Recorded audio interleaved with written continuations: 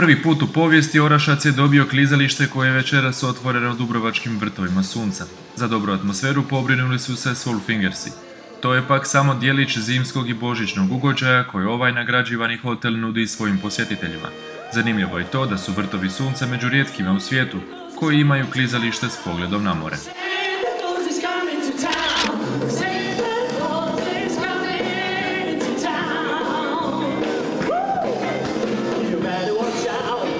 Evo imamo cijeli e, zimski program koji je počeo prije nekih mjesec dana, traje skroz do proljeća.